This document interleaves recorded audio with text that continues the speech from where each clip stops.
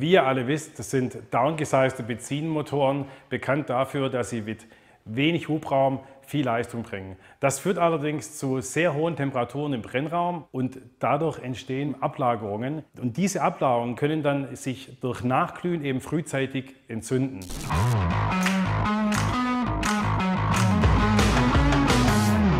Dieses Phänomen nennt sich in der Ingenieurssprache Low Speed Pre-Ignition, kurz LSPI. Das Ganze passiert unter Vollgas mit niedriger Drehzahl und dann macht es Puff und ich habe gebrochene Kolbenstege, habe eventuell verformte Pleuels. Und damit genau dieses Thema gar nicht erst entsteht, haben wir von Liquimolli ein Kraftstoffadditiv entwickelt, den Proline Direct Injection Reiniger, welcher einfach durch Zugabe in den Tank diese Ablagerungen, die die Fehlzündungen verursachen, entfernt. Dass dieses Thema hochbrisant ist, zeigt allein die Tatsache, dass Opel ein solches Additiv für bestimmte Motoren inzwischen nicht nur empfiehlt, sondern sogar vorschreibt. Nur so erfüllt ihr auch die Vorschrift des Serviceplans. Es betrifft natürlich nicht nur die Opel-Motoren, sondern auch alle anderen downgesizten Benzinmotoren.